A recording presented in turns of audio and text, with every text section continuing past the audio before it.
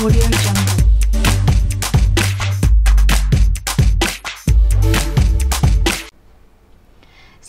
eşidilməsinə ehtiyacı olan problemli vətəndaşlar, gününüz xeyir. Siz Lamiyə Çerpanova ilə Yad xəbərə baxırsınız. Son bir neçə gündür ki, ölkə gündəmini zəbt edən etiraz aksiyası nəhayət ki baş tutdu. İnsanlar məsul meydanına toplaşdılar, şüarlar səsləndirdilər, etirazlarını bildirdilər. Ancaq maraqlısı ondadır ki, böyük səs-küyə səbəb olan etiraz aksiyasını Azərbaycan telekanalları əvvəllərdə olduğu kimi işıqlandırmadı. Niyə? Nə səbəbə? Nəyə görə Avropada, Türkiyədə, Amerikada baş verən mitinqləri, ən xırda hadisələri işıqlandırırlar, geniş müzakirələr açırlar, amma öz ölkəmizdə baş verənlərə kör olurlar. Yoxsa Azərbaycan kanalları sadəcə olaraq xalqın gözünün qabağına pərdə çəkir? Əslində bu sualların cavabını siz də, elə mən də çox gözəl bilirik. Bizim telekanallar boş-boş şoularla, mənasız seriallarla insanların başının altına yastıq qoymaqla məşğuldur. Düşünürlər ki, ölkəni bürüyən problemləri çəkib göstərməsələr, xalqın xəbəri olmayacaq. Amma unutduqları bir şey var. İnternet, sosial media və internet televiziyaları. Siz ölkədə baş verənləri ha gizlətməyə çalışın. Ancaq gerçəkliklər insanların barmaqlarının ucundadır. Siz e, mitinqə nə yaxşı gəlmisiniz? Nəyə görə gəlmisiniz? Mitingdə gəlmişik ki, millət nəyə yığılıb biz də ona görə işsizlikdən, hər şeydən əzəbəziyyət çəkirik. Biz istəyirik ki, hər şey yaxşı olsun. Heç bir kəsin yanında ailəmizin içində, evlatlarımızın içində üzü kölgəli qalmayaq. Yəni ailəmizə çörək aparaq. İndi heç hansı bir iş yerinə getsən, səndən ya pul istəyir, ya adam istəyir. Yoxdur. Rahat yaşayış istəyirik, rahat yaşayış. Rahat yaşayış istəyirik. Kommunal xərclər, kredit borcları, qaz pulu, işıq pulu heç nə ödəyə bilmirik. Yaşaya bilmirik. Bir sözlə yaşayış nol dərəcəsindədir. Bir qalxıb od qiymətinədir. Heç bir şey ödəyə dövlət deyir ki, rüşvətin qarşısını ala bilərik. Asan xidmət yaratmısansa, rüşvət yoxdursa, deməli bütün təhiyyədə də, təhsildə də, hər yerdə bu nailiyyəti əldə edə bilərsən. Deməli, rüşvət sənin sənin kimi hakimiyyətdə olanlara sərf eləyir ki, sən bu rüşvəti e, yaşadırsan bu ölkədə. Sadəcə haqqın tərəfdarıyam. Qalsınlar hakimiyyətdə. Qoy onların olsun milyon. Sadəcə olaraq bıçaqsız cəmaat namazı. 100 manata səhər saat 6-da insan gedir, yer süpürür. Bunun gör nə qədər ehtiyacı var ki, 65 yaşında insan səhər saat 6-da gedir, yer süpürür. Yazıq de bu insan. Çörəyin 50 qəpik. Yaşıllaşdırmada mənim qonşum işləyir. 130 manat maaş alır. Onların olimpiyada başlayandan sonra Sumqayıtda maraqlanır. 30 manatlarını kəsirlər. 3 nəfəri, 3 nəfərin ərazisini işləyir. 20 bir qadir, bir qadir. 3 nəfərin ərazisini, 3 nəfərin ərazisini bir nəfərə götür işlədir. Öz arvadını qeydiyyata salıbdır. 3 nəfərin işini gördürür mənə. Bir nəfərin maaşını alıram mən. Əlbəttə ki, 3 nəfər işini gördür, amma bir nəfər maaş. Cinayət Yaxşılaşdırma İdarəsi. Mənim özümü də işsizəm, getmişəm ora.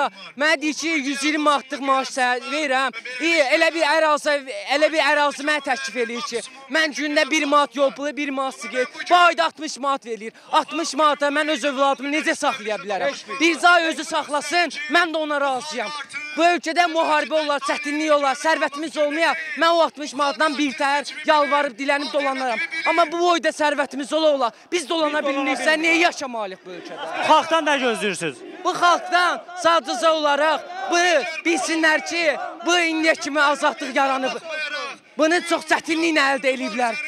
Bu Azərbaycan, Çeçenistan da var, Dağıstan da var. Bunlar Azərbaycanın mərdövləri, Məmməd Əmin Rəsulzadə kimi igidləri qarşıya qabağa düşüb Azərbaycanı azadlığa qovuşdurublar. Onlar da onlardan geri qalmasınlar. Ən azından haqqlarını tələb eləsinlər. Ali təhsilli uşaqlar çöldə qalmasın. efirə verin. Artıq təzədən xahiş edirik, efirə verilsin. Ailə uşaq içində xəcalətli qalmışıq. İşsizlik, gücsüzlük, dolanışıq nə oldu? Nə oldu qardaş? Yaşaya bilmirik. Mənim problem bizim Mən bu qardaş. meydana İkinci qrup gəzdirirəm. 55 manat müavinət alıram. Özüm Peşə, xəstəliklə bağlı fəaliyyətin məhdudiyyət qoyulub. böyük Evim yox, şərəf eşiyim yox. Məsələn, ləyaqətlə iki yerinə evladım var. Yetirən düşmüşəm ev, Çox evladım. namuslu bir jurnalist vardı Rasim Əliyev. iki uşağım qaynanam Hanı evdə o? Yaşayır. Mən də Hakimiyyətin başı küçə küçələrində qalam. Evim yox, eşim yox. Elə bir vəziyyətdə yaşayıram ki, yəni Rasim, dəfələrlə bu Bizim Şəkil Anıcı da qəbul keçirdiyimiz çatdırırlar. Şəkidə. hüququnu yerinə yetirən Mehman dövlət Nə müddətdir bax Bakıda küçələrdə yaşayır? Hədəflər göstərdi. 3 ildən Mehman çoxdur. korrupsiyanın ailəviz? hiçbir Ailəmiz şəbəkəsinin qaynanamın yanındadır. İzinə düşdü. Dəfələrlə bu Niyə tutdunuz Əmək və? Əhalinin Sosial Müdafiə Nazirliyinə kamerasında qəbul edirəm. özünüzü gördünüz. Baxmırlar, maraqlanmırlar. Hədə qor, hədə kamerasında qorxu gəlirlər. Yəni bu çıxış yolu intiharda görürəm. O boyda dəmiz bezdiriblər mənə. Yəni bu vəziyyət pisdir. Olduqca dadaqlı vəziyyətdə də yaşayıram. Millət elə günlərə qoyublar ki, Şəki rayon icra hakimiyyətində öz başlanıb. İcra hakimiyyətinin birinci müavini Həsən Həsənov birbaşa mən ölkə başçısına vurğulayıram ki, bu öz başlanıqları bu aradan götürüləcək. bizim Çörəkdir. qiyasla, Bəli. bayramla, Buna baxın bax. Pis vəziyyətdə. Yəni yaşayıram quru, çörəklə Bəli, quru çörəklə qidalan Bakı. Bakı küçələrində. Gör nə Bu vəziyyətdə yaşayırıq, gör nə vəziyyətdə. Cavan bizim digər Kimə deyirəm blogerlər də və baxmırlar, maraqlanmırlar. həbsdə olanlar 38. var və mən onların hamısının hardasa. Xeyr, xeyr. Bu günləri Azərbaycan gəncliyinin Heç şeydə. siması, Mən sifəti, Valideynim rəhmətə deyir. Cavan qardaşım əsəbdən, nervidən rəhmətə deyir. Qalmışam çöllərdə, pis günləri vəziyyətdə. Azərbaycan Bunu Allah götürər bu ədalətsizlik. Evim yox, torpağım yox. Dəfələrlə rayon mənim icra hakimiyyətinə tələbəm deyirəm ki, torpağa köməklik eləsinlər. İkinci qrup əliləm, xəstə adamam. Ailəm uşağım yanımda yoxdur. əminliklə demək To- istəyirəm ki, torpağa köməklik eləsinlər. Bir otaq mənzilə ehtiyacım var.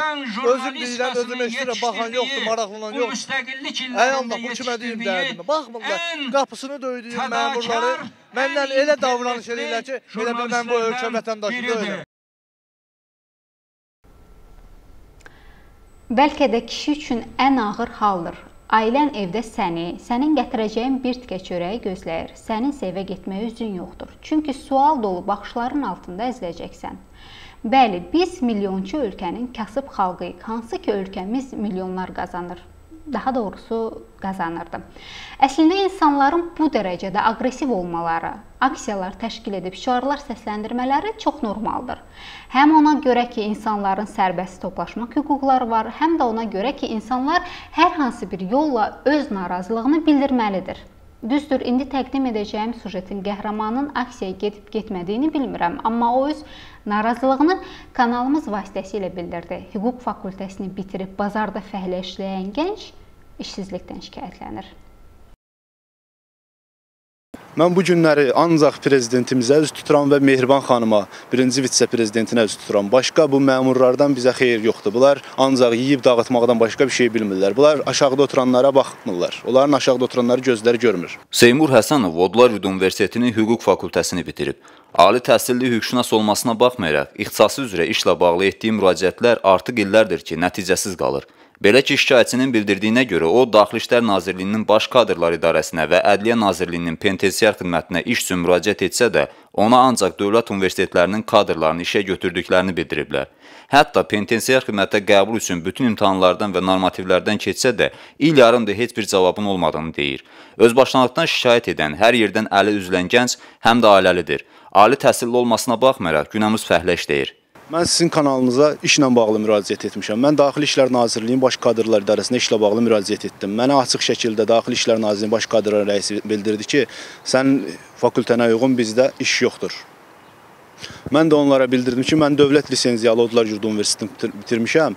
Nəyə görə mən məndə mənim ixtisasıma uyğun sizdə iş yoxdur? Deyir ki, sən dövlət lisenziyalı özəl universiteti bitirmisən. Ona görə də sənin fakültənə uyğun bizdə iş yoxdur. Dövlət lisenziyalı universiteti qutaranlara bizdə iş var. Mən də hansı ki, xaricdə oxuyan şəxsləri işə qəbul edirlər. Mən Azərbaycan vətəndaşı olaraq heç bir işinə təmin olunmuram. Belə bir haqsızlığı mən götürməyərək sizin kanala müraciət etdim. Bəs bax bu ə, universitet qutardınız da Odlar Yurdu Universitetini. O universitet ə, Azərbaycan Respublikasında məsələn Təhsil Nazirliyi tərəfindən və ə, xüsusi müvafiq orqanlar tərəfindən tanınır. Bir universitet kimi, bir təhsil ocağı kimi tanınır və onların da buraxılmış, yəni məzunlar hal-hazırda Azərbaycanın müəyyən yerlərində işləyir. Bu ə, yəni hansı kateqoriyalara görə sizə dedilər ki, sırf ə, Odlar Yurdu Universitetini bitirən şəxslərə, yəni sırf dövlət universiteti bitirməlisən. Bu haqsızlıqdır. Yəni ən azı bu haqsızlıqdır. Yəni ki, kimin adamı var, kimin pulu var, onu işə qəbul eləyirlər. Kimin adamı, pulu yoxdur, onu işə qəbul etmirlər. Budur, başqa bir şey yoxdur burada. Konkret şəkildə demədilər, ancaq mən özüm görürəm ki, bu formadadır da iş bundan ibarətdir. Çünki heç bir hansı orqana müraciət edirəm, bu formada mənə deyirlər. Ki, e, bəs e, dövlət universiteti bitirməlisən? Yoxsa başqa nə deyirlər? Dövlət universiteti bitirməlisən yox, e, məsələn Ədliyyə Nazirliyinin penitensiar xidmətinə müraciət etdim. Mənə e, işlə bağlı e, və imtahanların hər birindən keçdim. Turnikdən, e, qaçışdan, normativlərin hər birindən keçdim tibbi müayinədən. E, keçdim. Bu günə kimi də 1 il yarımda heç bir nəticə yoxdur. Bəs de, gedirsən deyirsən ki, bəs mən imtahanları keçmişəm, tibbi şeylərdən keçmişəm. Bəs nə deyirlər sənə? Mənə heç bir söz demirlər. Heç məni qəbul etmirlər. Vətəndaş kimi sizi qəbul edir. Qəbul edib nə, heç nə də demirlər. Amma bu günlər mənlə imtahan verən şəxslər heç imtahandan mən o turniki onlar məsələn onlar 5 dənə vuranda mən 25 dənə vururdum. Qaçışdan hər bir şeydən mən yaxşı qiymətlər almışam imtahanların hər birisindən. Amma onlar heç birini eləməyiblər onların. Amma kimin onların imkanları var, adamları var, bu günləri onlar isə işləyirlər. Ədliyyə orqanlarında çalışır. Bəli, bəli, bu dəqiqə onlar çalışırlar. Mən isə geridə qalmışam. Bax bu e, sizcə e, bax sizə qarşı olan bu proses, yəni sizə qarşı olan bu haqsızlıq nədən qaynaqlanır? Özbaşınaçılıqdan. Ən azından məmurların özbaşınaçılığından. E, Belə deyək də, bax bizim kanal vasitəsilə hansı orqanlardan e, kömək istəyirsiniz işlə bağlı? Bildiyimizə görə üç övladınız var. Bəli, mən ailəliyəm, 3 övladım var. Heç bir yerdən gəlir mənbəyim yoxdur. Özüm də fəhləçilik eləyirəm, Sədərəkdə fəhlə işləyirəm, mal boşaldıram, ailəmi ondan dolandıram 5 il yarımdır. Mən bu günləri ancaq prezidentimizə üz tuturam və Mehriban xanıma, birinci vitse-prezidentinə üz tuturam. Başqa bu məmurlardan bizə xeyir yoxdur. Bunlar ancaq yeyib dağıtmaqdan başqa bir şey bilmirlər. Bunlar aşağıda oturanlara baxmırlar. Onların aşağıda oturanları gözləri görmür. Mən onlardan xahiş edirəm ki, məni bir gənc ailə kimi nəzərə alsın, başa düşsünlər ki, mən də bir gənc ailəyəm. Mənim də yaşamalıyam, dolanmalıyam. Ən azından bir insan kimi, Azərbaycan Respublikasının vətəndaşı kimi mənə yardım etməyi xahiş edirəm. Məni məmurlar elə bir vəziyyətə salıblar ki, mən bu günləri Azərbaycan Respublikasının dövlətindən imtina edib xarici dövlət vətəndaşlığına almaq istəyirəm. Məni bu günə salıblar. Sizdən xahiş edirəm mənə köməkli eləyəsiniz.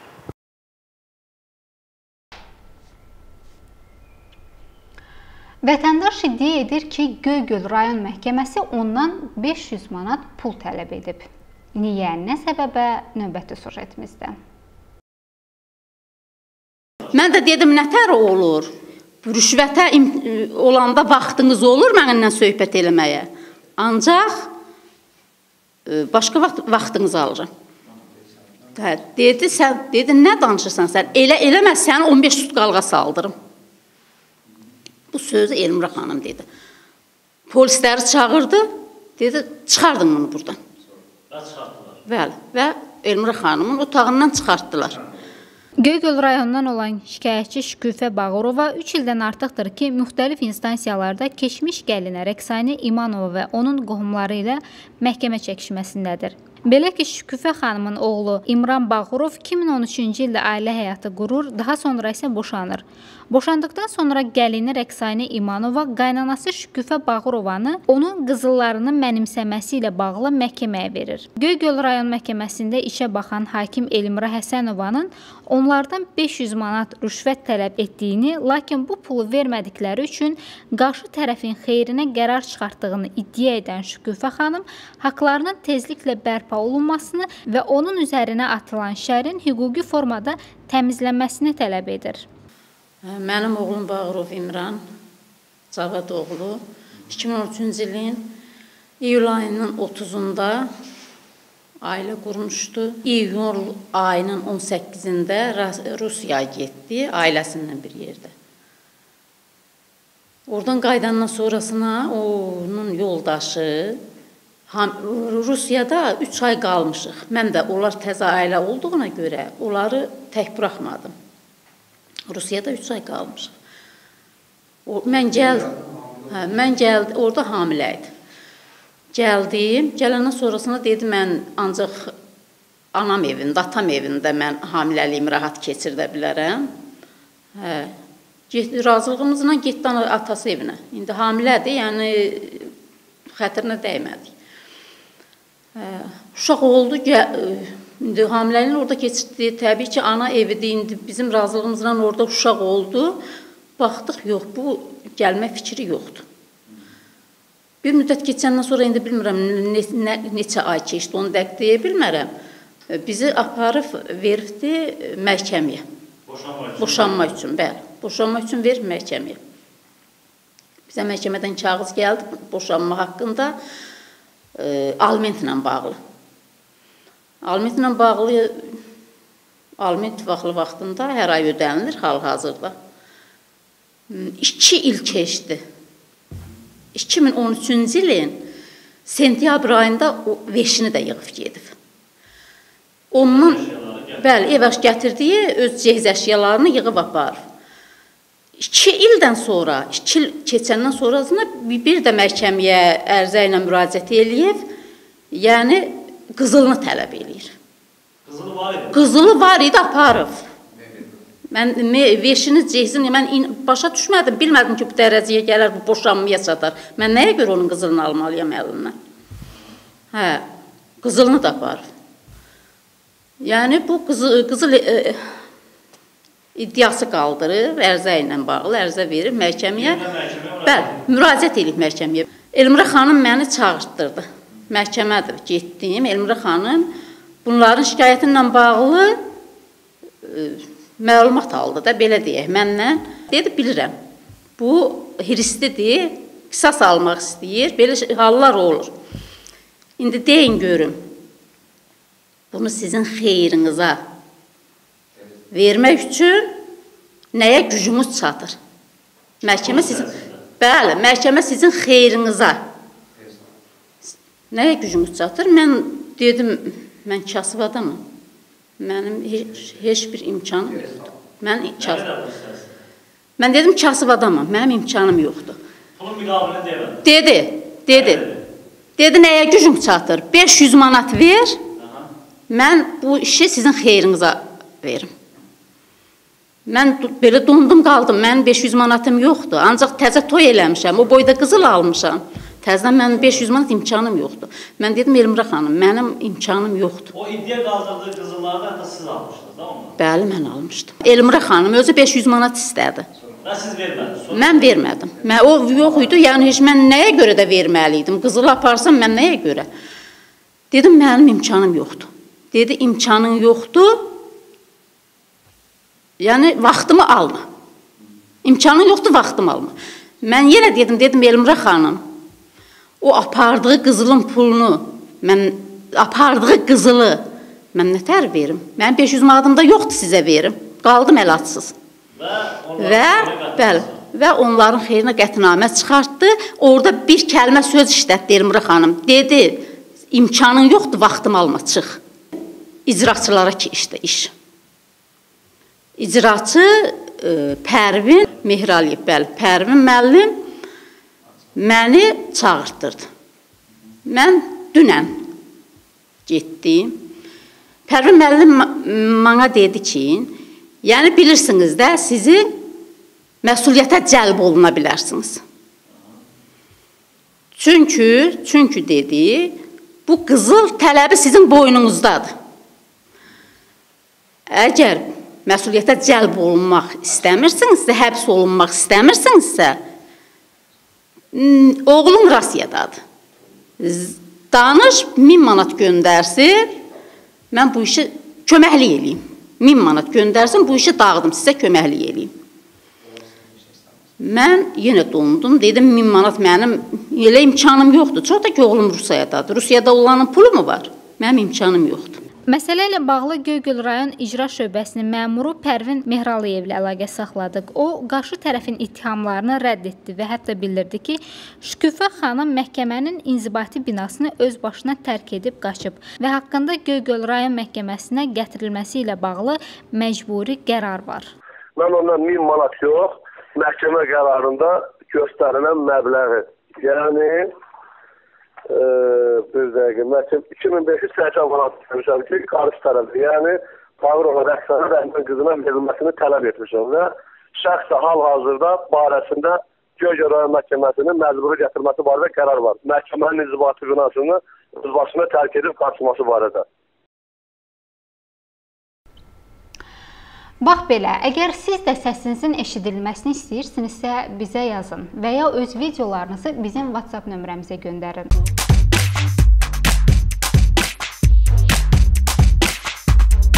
Audio Jungle.